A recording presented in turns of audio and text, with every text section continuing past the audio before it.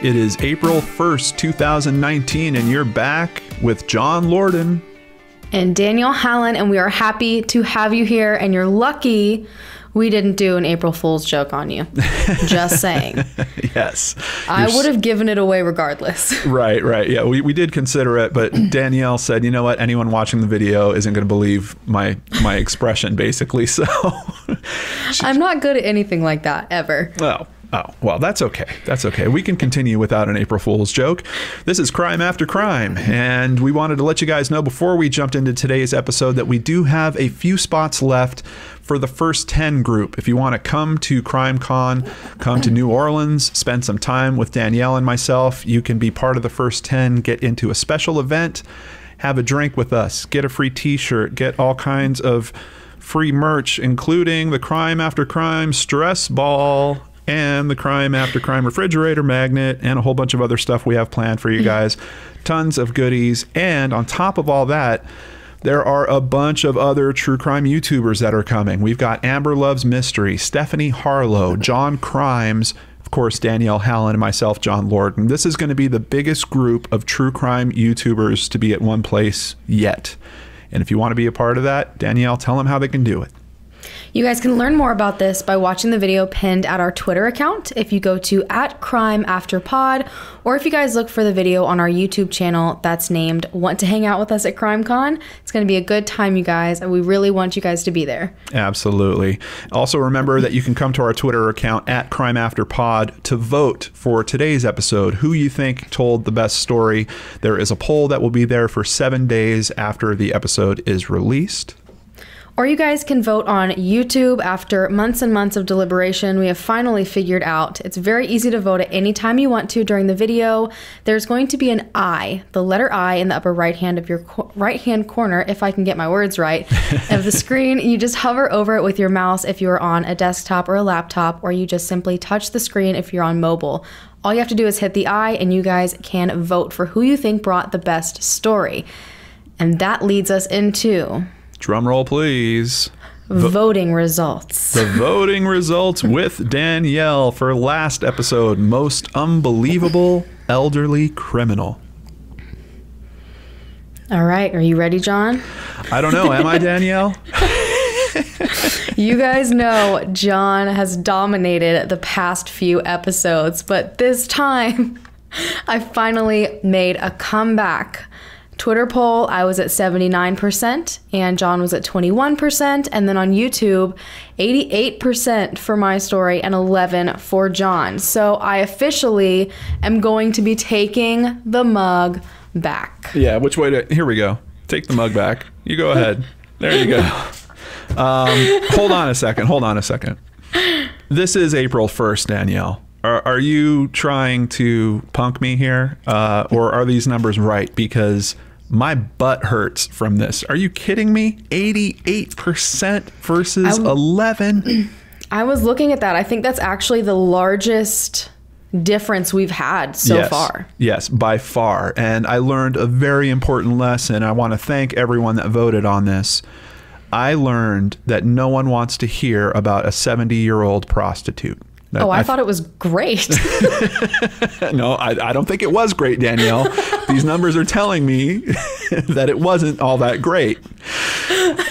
So I will never bring up a septuagenarian prostitute on this show ever again. well, I personally loved it, and I saw a bunch of great uh, conversations going on in the comments about many different topics that were brought up from your story directly. Okay. I, I still loved it, and I still voted for you, and I still think you did a great job, John. Well, I you just whooped my butt too many times, and I had to come back and roast yours. You so really did. You really did. I'm telling you, I'm sore from that one. That was amazing. My hat's off to you, Danelle. Really good job. And there were some people that were kind of talking about, um, you know, oh, I'm sorry, John, but I'm going to have to vote with Danelle on this. And I'm like, hey, don't be sorry. What this is great for the show. I think I know we love it. yeah, we absolutely love it. And I love that we're being pushed into these challenges with the research. I don't get challenged like this with my typical research that I do on the YouTube channel. Yeah.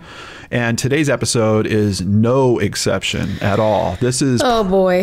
yeah, this might be the toughest research job that we have done yet. Today, we are talking about the world's worst alibi. Danelle, do you agree? Tough research job?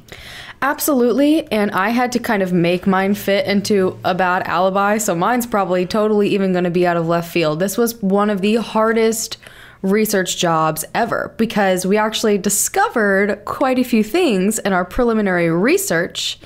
And I think John's about to kind of get into this in a minute, but it was difficult. I dare every single one of you to go and look up alibi stories online and let me know what you think afterwards. You're going to be shocked. The interesting thing is, most people, if they just do the preliminary look, if they didn't have the same rules that we did about this, you are able to find tons of lists of alibis.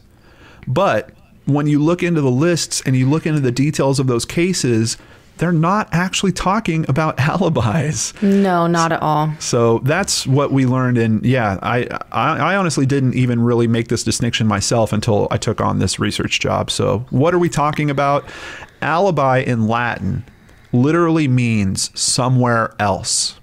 According to defenselawyer.com, uh, criminaldefenselawyer.com, an alibi defense is a defense based on information that a defendant was not at the scene of the crime when the crime occurred, that he was somewhere else and could not be the person who committed the crime.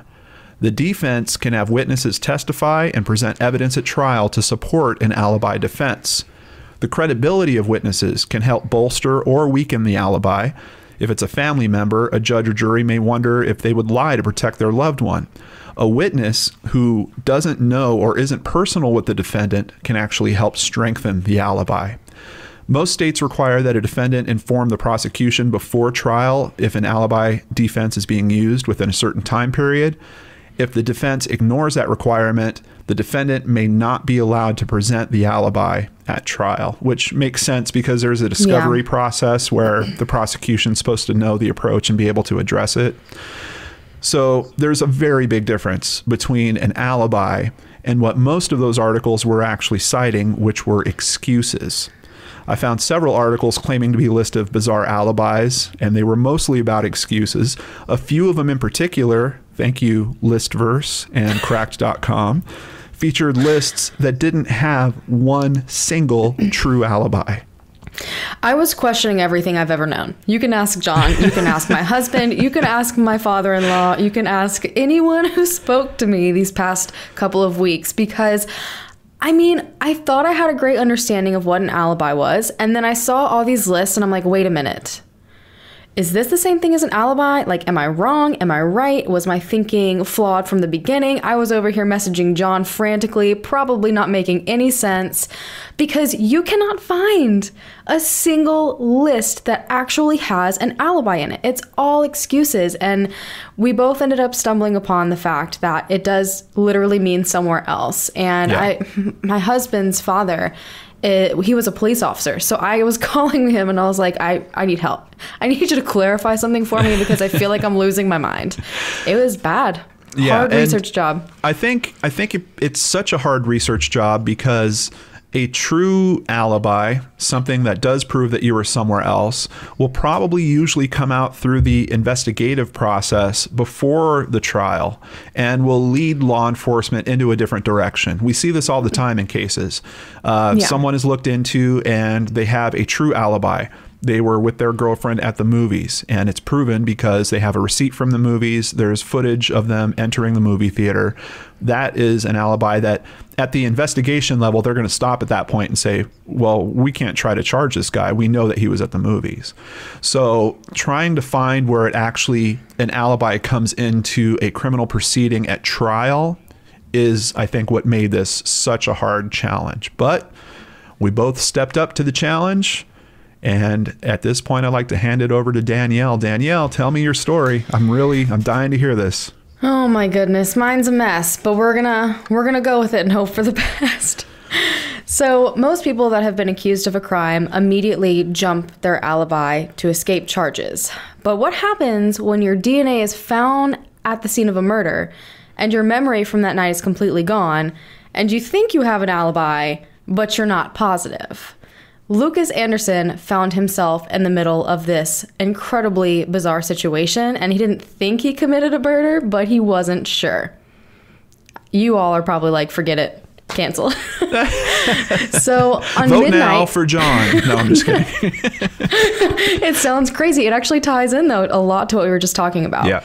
So on midnight, November 29th, 2012, someone broke into 66 year old Raveesh Kumra's home. Raveesh was an investor and he lived in a beautiful 7,000 square foot home in Monte Sereno.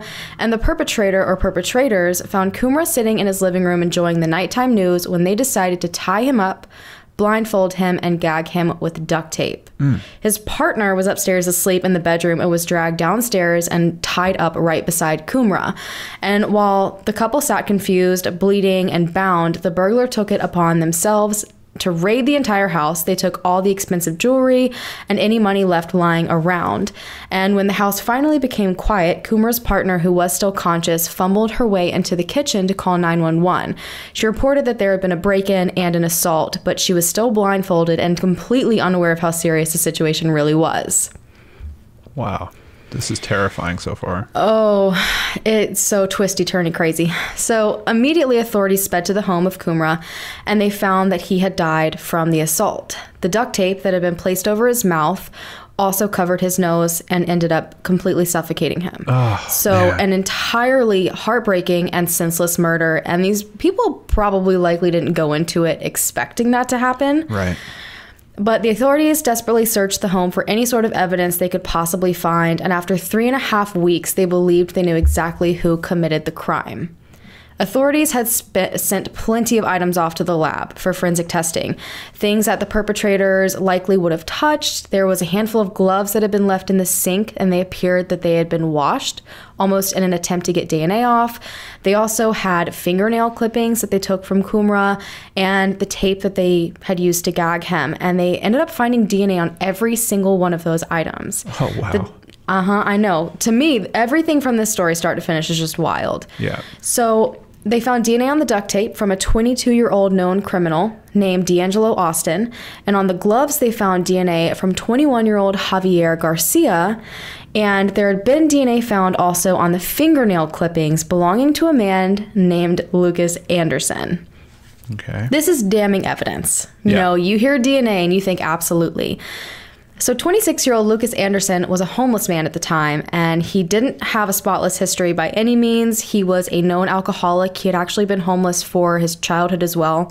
So, pretty much his whole life, it caused a lot of different mental issues, alcoholism, and he did have a lot of small offenses tied to his name. So, they brought Lukis in and accused him straight out of murdering Kumra, expecting to see a reaction other than what they got. Lukis seemed to be incredibly shocked and confused about being brought in for this crime. And when he spoke to the public defender in Santa Clara County Jail in California, it was clear as well that he was still very confused. He ended up admitting that he had a drinking problem, so while he didn't think that he'd ever be capable of murdering someone, he wondered if he did it and just didn't remember. Hmm.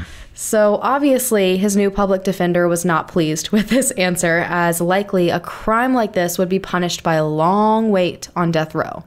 But authorities told them exactly how they pinned him to the crime it was DNA, and that they weren't getting out of it, and he was thrown in jail and charged with the murder of Kumra.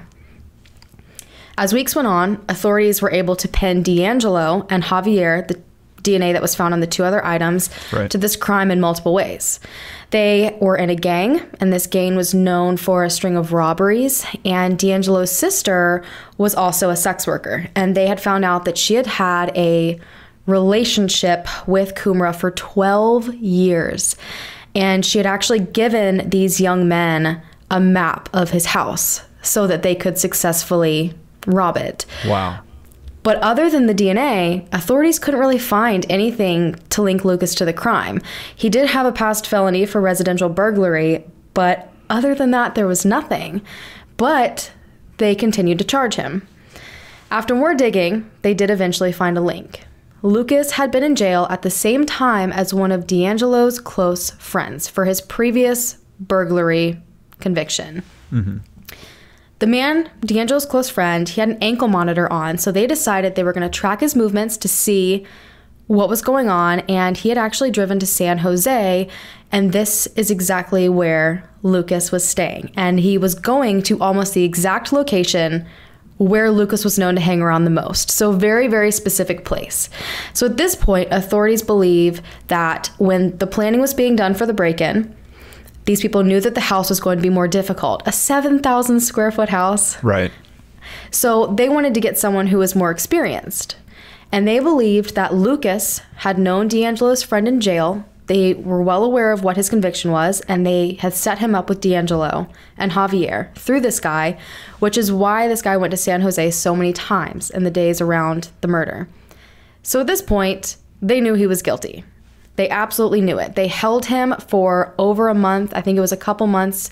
Um, they had, in fact, charged him. They continued to come in and question him and accused him over and over again. They really were hard on this guy, like incredibly hard on him.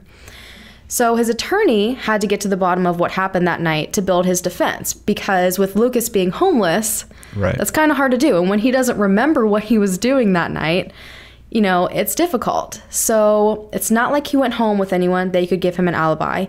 He didn't have a job that could really vouch for him. So every single detail that could be found on Lukis was collected to try to find some sort of alibi because at this point, he was about to be sentenced to death. Yeah. This is when his medical records revealed something that saved his life and the only time being a drunk has ever helped him. Okay. So at 7:35 p.m. the night of the break-in, a clerk at a 7-Eleven had to call authorities on Lukis because he was panhandling. But before authorities arrived, he moved on to a place called S&S Market, and this was about 4 blocks away from the 7-Eleven, and he sat down right out front of the store at around 8:15. The clerk knew he was there and realized that he was obviously drunk. But for hours, he continued to sit in front of the store just pounding back the drinks. And finally, he walked into the store and collapsed in one of the aisles from intoxication. Wow. So the clerk called 911 and an ambulance came to get Lukis, and he was admitted to the hospital at 10:45 p.m. that night. So no wonder he didn't remember anything and he didn't believe he would do it, but he wasn't sure because he was belligerently drunk. Yeah. Blackout drunk. Oh yeah. So the doctor confirmed that he did keep Lukis overnight to sober up. He was not released until the next morning, but that meant that there was no way he could have been at Kumra's home at around 11:30 p.m the night that he was murdered because he had just been admitted to the hospital. Wow. Wow. Oh, it gets so much crazier. it's already so, pretty crazy. so he had an alibi. He was passed out drunk in the hospital, an alibi that he had forgotten because he was drunk. Right. That he didn't know he had. Yeah.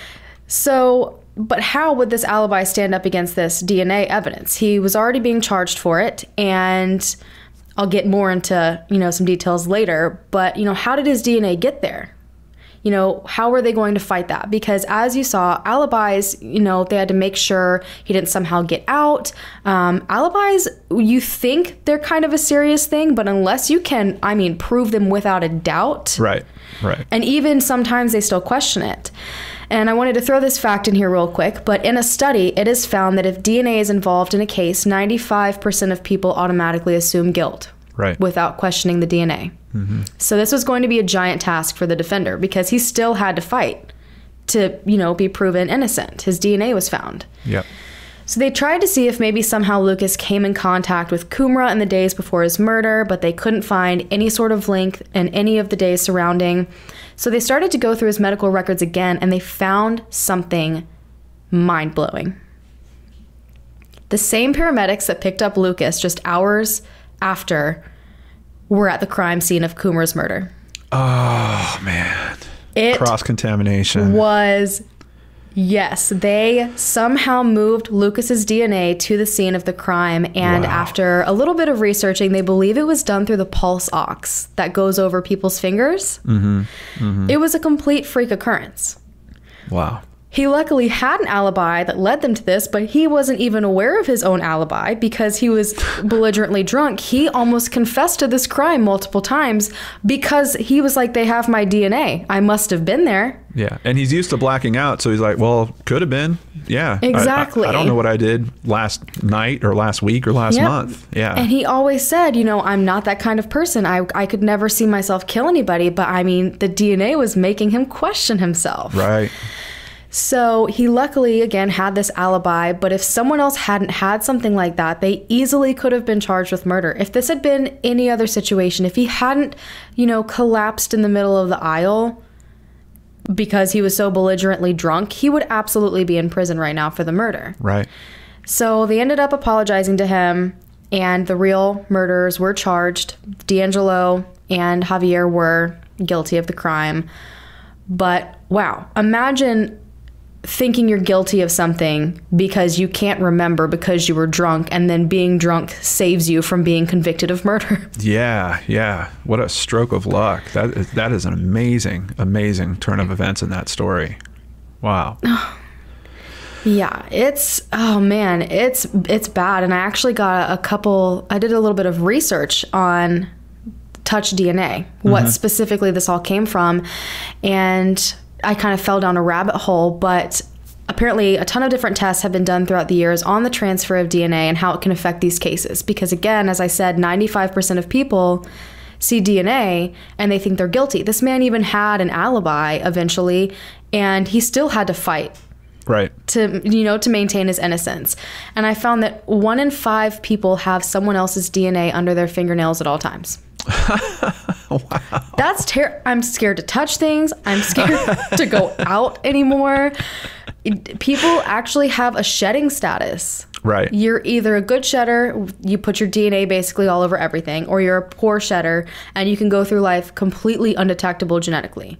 And it changes a lot based on personal habit. You know, someone that bites their nails or touches their face or anxiously rubs their skin, puts their hands to their hair. If you're doing something like that all the time, you could be putting your DNA all over everything Everywhere. and you have no idea. Right. And luckily, again, he ended up being able to find an alibi. Yeah. But imagine if you didn't. So let's say you touch a handle and you're someone that doesn't wash your hands frequently or picks your nose or does something else. You know, what if a murderer comes in, touches the same handle, has their DNA, your DNA all over their hands, and then strangles someone? Wow. It's going to look pretty guilty if your DNA is all over their neck. yeah. Yeah. And it, this this isn't something that happens. It's not incredibly common, so I'm not trying to scare everybody. But it was very crazy going into this after reading this story and seeing how it definitely can happen. It's happened. It has happened quite a handful of times, actually. Most of the time, people have been in prison yeah. for years, years and years, and then it's found after the fact that their DNA just somehow shed and ended up at the wrong place at the wrong time. And this poor drunk guy had no idea. it's so important that we remember that DNA in itself is not necessarily the answer. And I, I don't want to cross over too far into my other show, Three Men and a Mystery, but we're dealing with this right now in that case as well because we have Oh, a guy that's been identified through DNA, but the DNA sample is a semen sample that was left on a victim that they don't think was sexually assaulted, but they did find semen on her clothing and skin and they've now identified the person that it looks like is the depositor of that. But does that mean that he's the same person that shot those girls? Yeah. So there's it's interesting because I'm watching this whole community go through this right now of trying to understand what DNA is and what it really means and does this necess- necessarily mean that they found the right guy? Um, and it's much different if you're talking about DNA that has been found on a weapon yeah. something where it's really obvious. There's still a, a layer of investigation that needs to be considered when it comes to DNA. DNA can give you a link to the truth, but if people look at it as the truth in itself, you're going to run into situations just like the one that you've covered here. And I've heard of a, another instance of this kind of cross contamination problem with DNA uh, where there was several cases that were being investigated and they kept finding this DNA sample. But then they were entering it into CODIS, and then all of a sudden, people in other states were like, "Hold on a second, we've got that same for a different crime that's out here," and all of a sudden, someone finally figures out the swabs that they're Yep. using were contaminated by someone at the factory and that person's DNA was winding up in all these cases. They thought they had a mass murderer that was, you know, traveling the world essentially killing people. Yeah, I saw that story. Yeah, ultimately it came back to the swabs being contaminated. So, But you know, imagine, you know, you find this DNA, but I mean, I mean, a freak chance that he was drunk as all get out that night, and he, Right. that poor. I'm being so serious. I look at pictures of him, and he and some of his quotes, and he had no dang idea if he did it or not, and he kept saying, "I don't think I did. I think I might have an alibi, but I don't know." It's amazing because it's like the stars had to line up just for that possibility to exist, but then the stars The and the moon stars. and the sun all had to line up to get him off. That is bizarre. Wow. Well, Danelle, I don't know what you were so nervous about. I think you absolutely knocked it out of the park with that story. And uh, for alibi, yeah, absolutely. First of all, not only do they have the medical records showing that he's in the hospital, but I bet the store that he went and stumbled into, they probably had video footage of him captured there. The testimony from any of the doctors or people that treated him while I was while he was in the hospital would probably support the fact that he was non-functional. You know, he's not roaming the halls of the hospital when he's been completely blacked out to the point where he's mm-hmm. fallen down in an aisle. So, And I can only imagine what authorities said as well when the when his public defender walked up and was like, "He didn't do it. He was drunk. He was he, he was blacked out. That's why he can't remember anything." Oh and what a good job! What a good job that public defender did to be able to trace all that and to, to figure that out. I was impressed. I was thoroughly impressed by this story from many different angles. Yeah, yeah. Good job, Danelle. Wow, super interesting. See, not technically like the worst. Being drunk isn't necessarily the best alibi, but I, No, hold on. What are you trying to say? Way, a story was way too crazy to not say. I Yeah. couldn't not tell that one. Yeah, yeah. No, I, you know, um, yeah. Maybe I, I sh- if I'm going to do anything really bad, maybe that'll be my next alibi before I go um, doing my low speed car crashes in Oh, man. in my retired years that I keep talking about. Um, wow. All right. Well, I think I'm ready. You ready for mine? I'm ready for yours. All right. Well, this story, uh, it sort of straddles the line a little bit between excuse and alibi, but the defendant clearly stated that he couldn't have committed the murder because he wasn't there.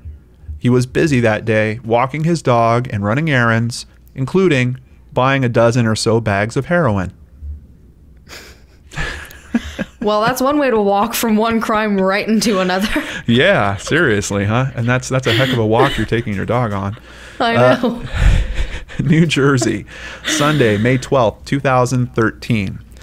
Tony Verdicchio went to Mass at St. Paul's Lutheran Church and after decided that he wanted to pop in on a friend who was teaching Sunday school to wish her Happy Mother's Day.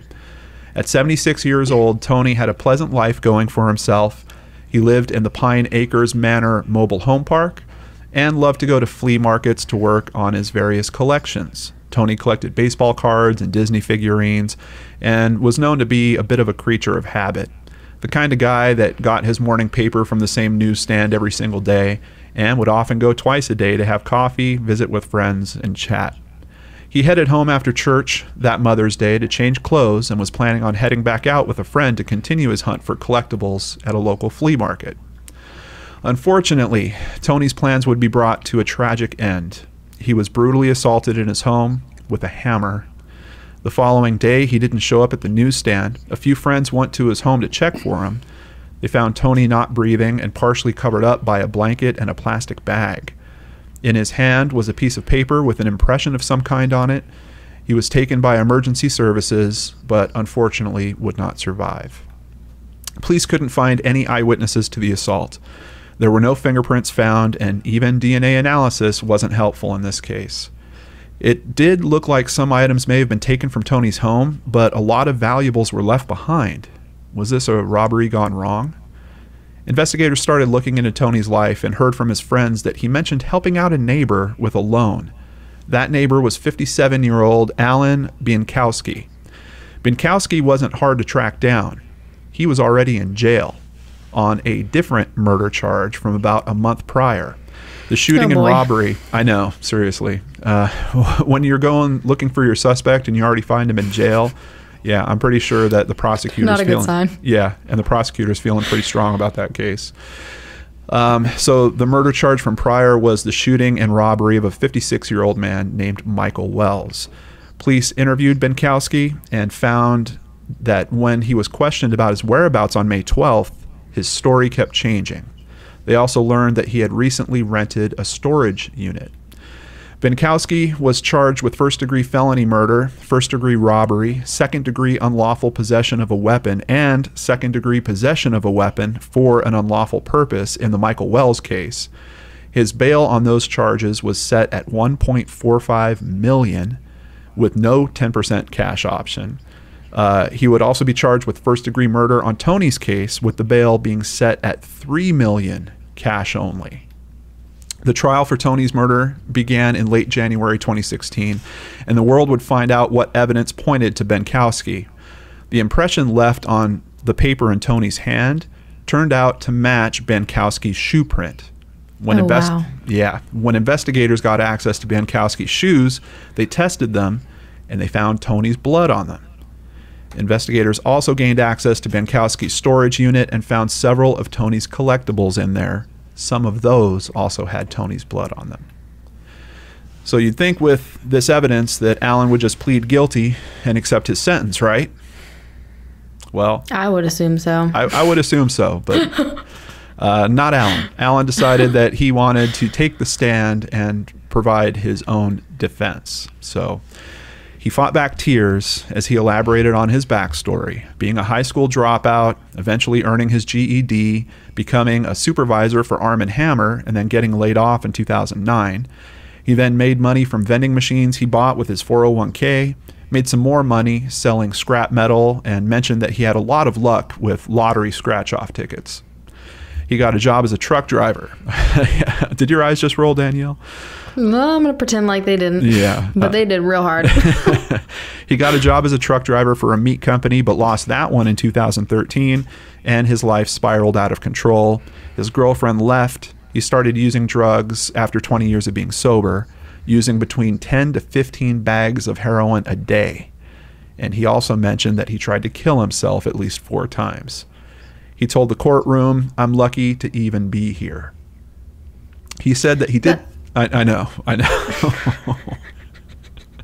tell me, tell me what you're thinking, Danelle. that is the very last thing I would say when I am up on the stand talking about someone someone thought I murdered, saying I was lucky to be there. Wow. Doesn't it just? It's it's weird. It feels like he's trotting out. Talk about excuses, like we were starting this episode with. I mean, just every possible. You know, here's my. Hold on, you guys don't understand what my life has been. But oh man. how does that tie to the fact that this man in his 70s was brutally murdered with a hammer in his home?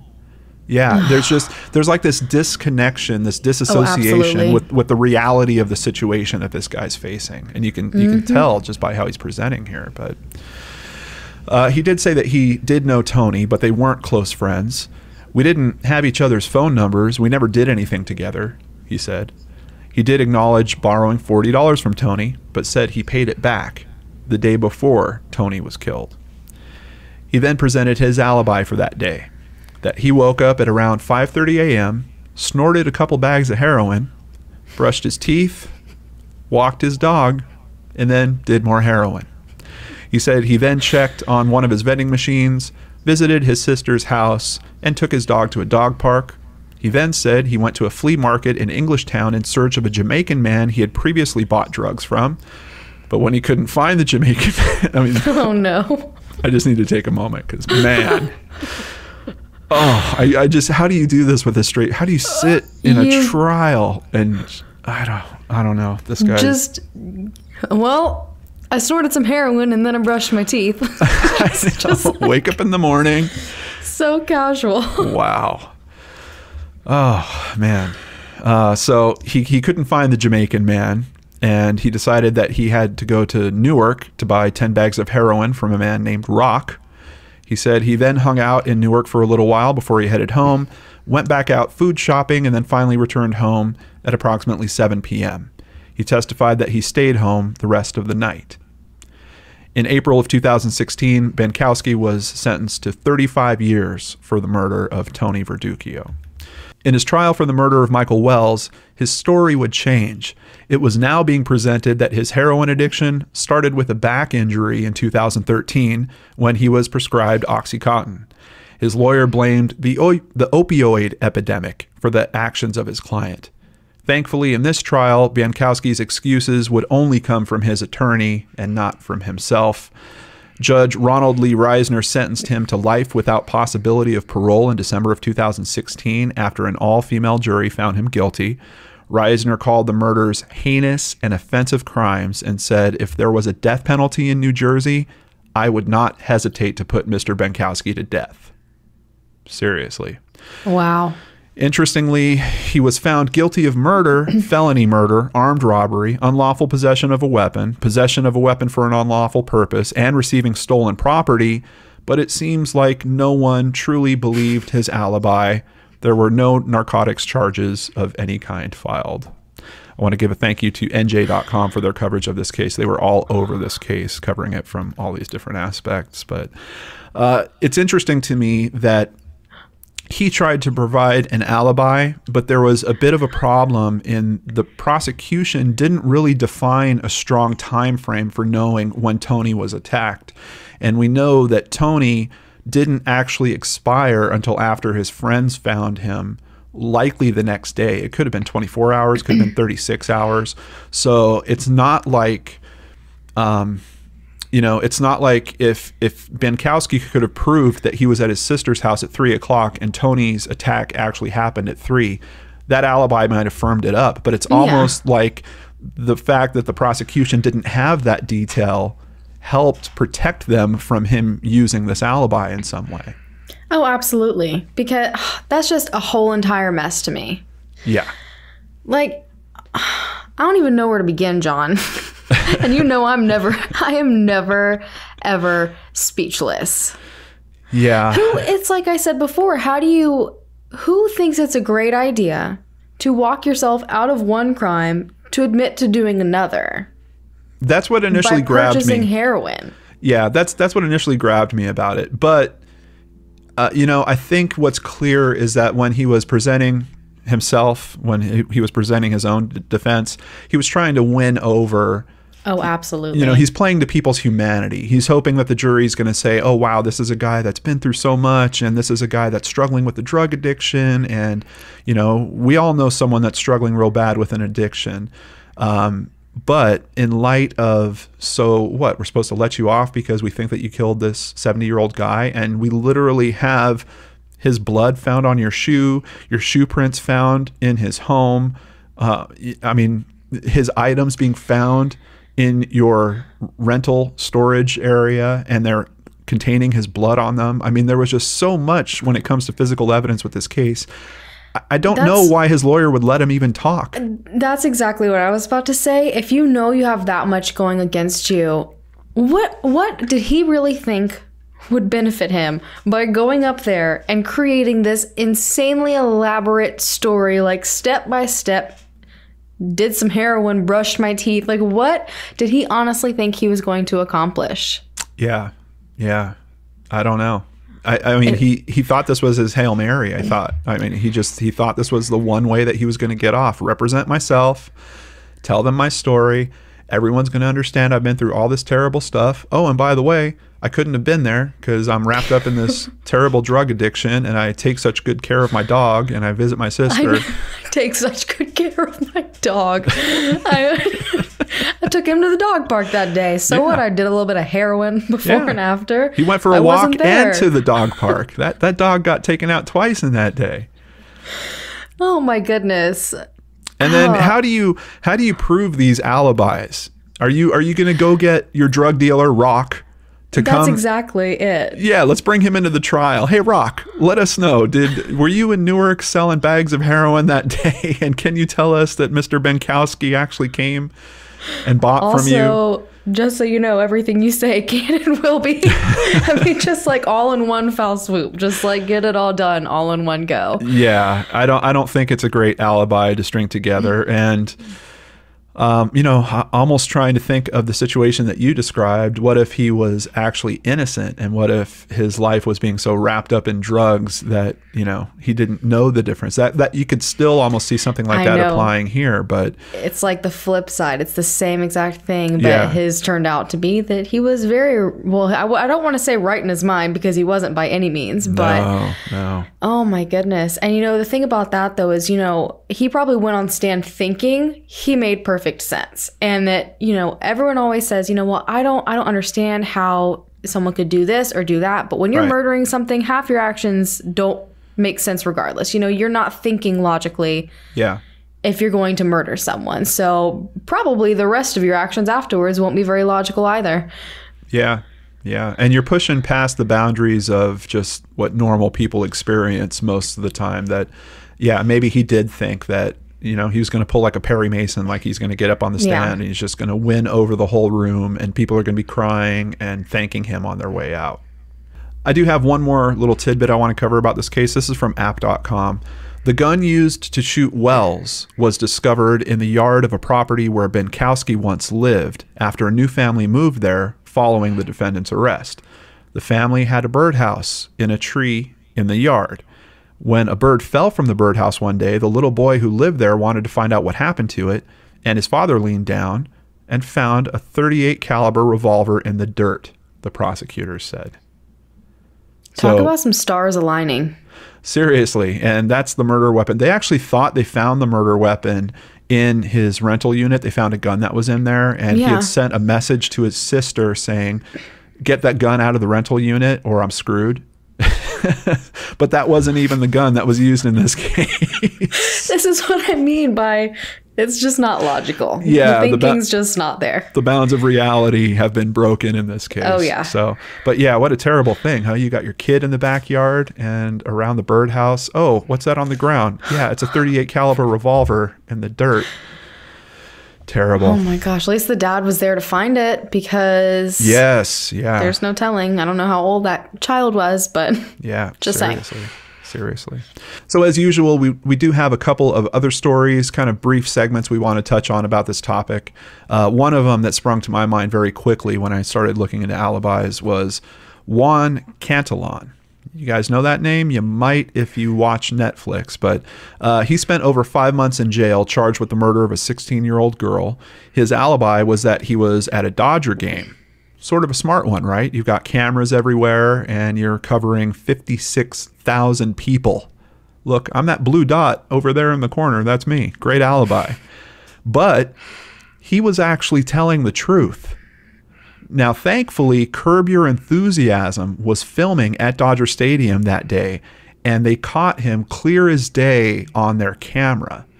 Uh, it is an amazing story, and I highly recommend that you guys check out Long Shot. That's the name of the documentary. I think it's only about an hour long, but it's really interesting because it's not like it's footage that actually wound up in Curb Your Enthusiasm. Once again, you had a defender that worked really, really hard for his client. They reached out to the production. They got the dailies, basically the, all the extra footage that was shot that day, and started looking through it. This guy just happened to be sitting in a section where he was picked up by their cameras, and they proved that he was indeed there. I know. I saw this story when I was looking through things and I was just shocked because it's the same sort of situation where, you know, he knew he had an alibi, but, you know, he couldn't quite prove it. It's almost like you know you have one, but you don't have the proof for it.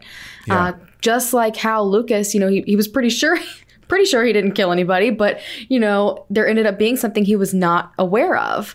Um, I thought it was so insane, and I was reading deeper into the story, and he he was questioned about something about I think he went to go get someone a snack or something and that was the only reason why they actually ended up catching him that they were trying to not let people walk back and forth and be super visible in the frame. Right. that's crazy. The chances again all these stars are aligning wildly in this episode of crime after crime. Um, it's, Yeah. it's luck man. That's so lucky because when i was reading other than that he man Yeah. If that wasn't there, he would be in prison. And if you're a fan of Curb Your Enthusiasm at all, they do actually have Larry David featured uh, talking about this case in that um, documentary as well. Long shot. So check that out. Danelle, you got one for us? Oh man, this one is an absolute mess, and I contemplated covering him for a while. Uh, but there was a man, um, I think he was about 22 or 23 years old, and one night there was this innocent man walking along the sidewalk beside a strip of bars, and he was brutally attacked. I mean, he was his face was kicked. It was absolutely horrific. So they looked on security footage to try to see who did it, and they got a very clear shot of one man. He um, you know, appeared to be someone that people at the bar and surrounding areas knew. So they brought this guy in and he kept saying, This can't be me. I would never do anything like this. And then he started creating this crazy alibi out of pretty much nowhere. Originally, he kept pointing at the footage and saying, There's not a tattoo on my arm in this footage. And I have a tattoo and I got it months before this crime happened. So this can't be me because there's no tattoo there. And they didn't believe him, so they wanted him to prove an alibi. So this man went and faked an entire birthday party for himself because he claimed he got this tattoo around his birthday, which was months before. He had pictures, there was a birthday cake, there were people, there were candles. They rented out a portion of this bar. To he provided them with all of these, you know, bits of information, these photo photographic evidence and he's like, "See, look, the tattoo's there and this was my last birthday, which was before the crime. It couldn't have been me." Well, he didn't think about the fact that pictures oftentimes are dated. And second of all, they went and checked at the club, and the club said absolutely not. He did not rent. You know, this was just a month ago. Wow. This this wasn't this wasn't way back when. So he ended up staging an entire birthday party to try to create an alibi out of thin air, all revolving around a tattoo. You know how when you were a kid they talk about lies and how they, they grow and they have to stack up on each other to cover it up. It's it's like that's exactly what he went through. He had to lie about his tattoo and then to prove that all of a sudden he's making a fake birthday party. It's an absolute mess, and I've seen the pictures. Wow. Oh I, I don't know why I can't remember the guy's name off the top of my head, but I'm sure if you just Googled guy staged birthday party as alibi, you will find it. He looks thrilled in his birthday party pictures. Well, and if you're going to do that, aren't you going to figure that there is a date that you want to reset on those cameras when you're taking those. But the problem is nowadays that everyone has cameras, right? It's not like you could have just had one camera, reset the date on it, and taken pictures. You've got your friends that are there and all their cell phones, and yep. you know that.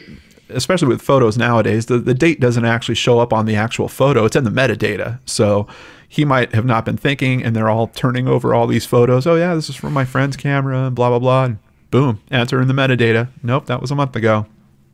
Wow. These people are wild. That's an extreme length to throw an entire birthday party for yourself. yeah. Well, at least he had one good party before he goes into the slammer, huh?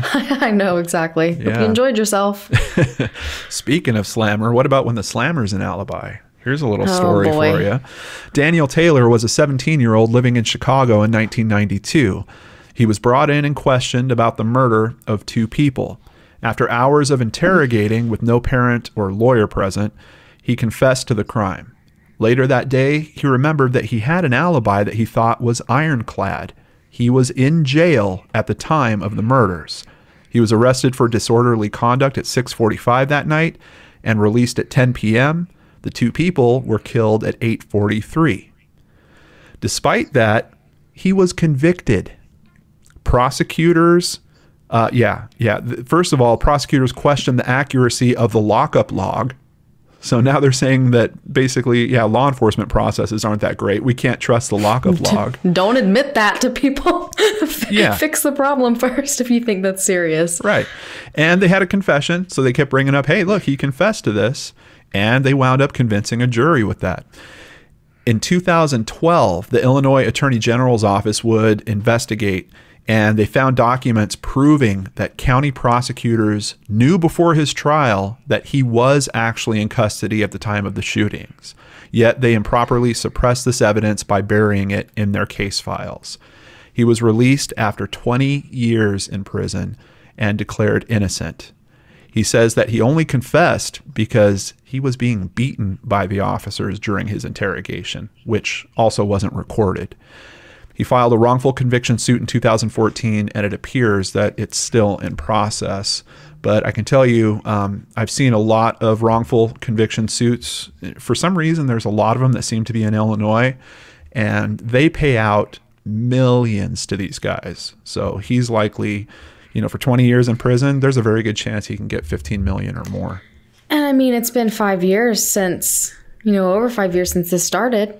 And uh, yeah, yeah, it's not an easy process. Just the process itself. That's right. that one kind of like makes me feel weird. It should. you know what I'm saying? I don't. it's terrible. It's terrible to think that someone that didn't commit the crime is serving 20 years of his life and he's still going through this whole legal process. So this whole thing is like a big left turn that you didn't choose for yourself, that all of a sudden your life is just redirected this way. But Absolutely. what's worse is the real killer. Where's the real killer?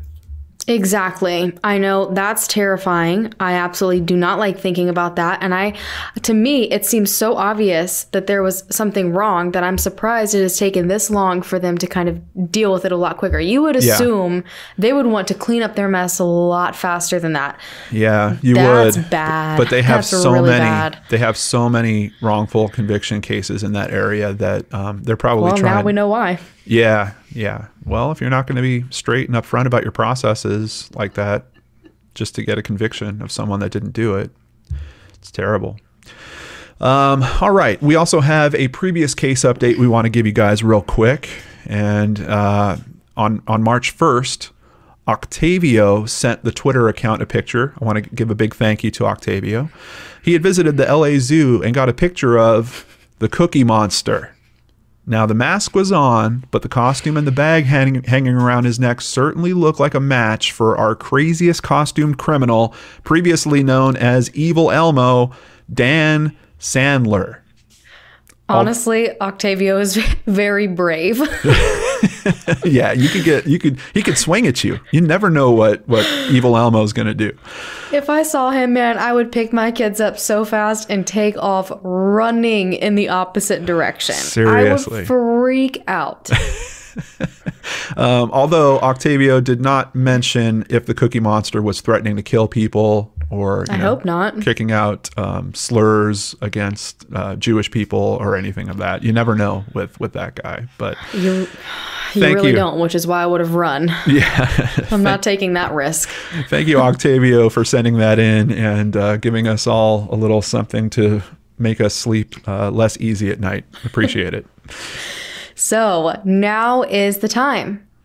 Who do you think's gonna win? What do you? How do you feel about your story, John? Mm, I don't know, Danelle. Um, I feel, I, I feel like this one is closer than last one, but I think you're gonna edge me out on this one. Uh, I think, mm. I think the angle about the DNA being contaminated. Uh, I personally just did not see that coming. I think that's that's a whole bizarre twist to this, and then including that with a good story about an alibi uh, and the fact that he didn't even know about his own alibi. It's it's it, just the amazingness of that story. I, I, feel. I mean, I know I'm voting for you. I always do, but uh, I, I feel like you might have got me beat on this one. Well, this was just a, as we already said, a very very hard topic a yeah. very hard topic to research on because the stories are really all over the place once you find them. But I don't know because mine technically isn't like the worst alibi getting up on stand and admitting you were mm. you know doing heroin over and over again and between taking great care of your dog that to me is the worst alibi but um, I don't know, but your guy is getting blackout drunk and falling guy. down. no, yeah, he's just a mess all over. I feel so bad for him personally, and I'm telling yeah. you, his picture, he's just this man. He's just standing underneath a tree. He looks so sad, and all I can picture is mm. him hmm. being like, "Well, I don't think I did it." Yeah. And like, imagine questioning yourself like that.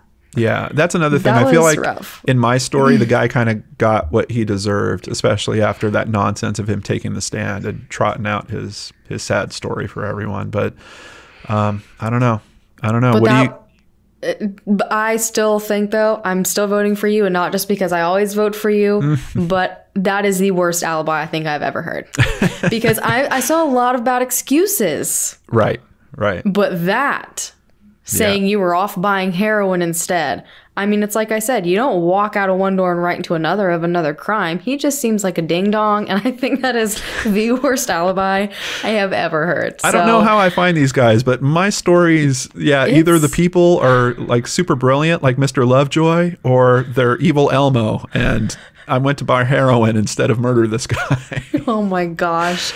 Well, me and John can go through this all day, but you guys actually get to have the final say. Right now is a great time for you to go ahead and vote up in the top corner. And keep in mind that you can also go and vote on our Twitter page at Crime After Pod for the next seven days and let us know who had the world's worst alibi. Absolutely. And for next month's episode, we've got something real special planned. What happens in May, Danelle? Mother's Day. Mother's Day. So a big thank you once again to Cheeks Makeup. Uh, she sent in an amazing list, and I think this is the second one we've used from that list. We are going to do murdering mother-in-laws. What do you think, This Danelle? Topic scares me. Do you think it's going to be as hard of a research job as this one? Oh, honestly, this is going to sound terrible, but probably not. Yeah, I don't think it would be either. I think it's going to be a little easier, but we'll see. Um, so I hate to murdering, admit that. Yeah. I hate to admit that. yeah, murdering mother-in-law is coming on May first. If you guys want more content from us, you can find John and I on our YouTube channels or our social media. You can follow my YouTube channel at Danelle Hallan. It should pop up right away, or my Twitter at Danelle Hallan as well. And I'm at Lordan Arts. That's L O R D A N A R T S. You can just search on that in YouTube or in Twitter, and you will find me. If you have ideas for the show, like Cheeks Makeup did, uh, you can email us at crimeaftercrime at lordanarts.com, or you can visit us on Twitter at crimeafterpod. Let us know your idea. Maybe it'll pop up in a future episode. Crime After Crime is produced and hosted by Danelle Hallan and John Lordan. And as always, we want to say a massive thank you to our patrons. They're what allow us to have limited ads on YouTube and no ads at all on audio. We also give our patrons a special Patreon bonus every single month. And I'm telling you what, we get into some serious deep questions. You get to see an awesome part of us that you wouldn't get to see anywhere else. And John and I may or may not have a really hard time staying on topic, but we, we That still might be make my sure fault. it's very entertaining. And plus, every single new patron gets a personal shout out in an upcoming Patreon special. That's right. And if you enjoy Crime After Crime, please rate or review us on whichever platform you found us on. We need your help growing. We cannot do it without your help. Tell your friends, tell your family, tell everyone about Crime After Crime. And don't forget, we also have a merch store. I'm working on a few more things. You guys actually said you really wanted phone cases, so I'm looking into it. I hear you. Just give me a little bit, but you can check that out at teespring.com forward slash stores forward slash crime after crime. But we will see you guys next time on Crime After Crime. Bye bye.